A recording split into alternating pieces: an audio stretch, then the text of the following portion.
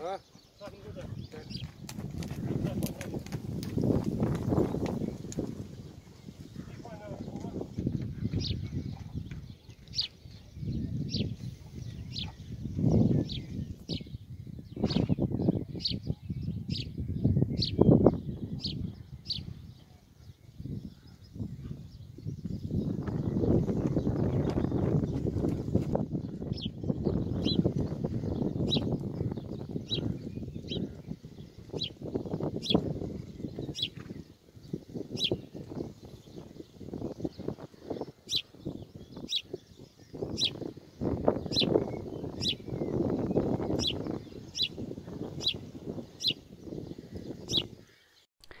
Thank you so much for watching this production by You Ride We Drive.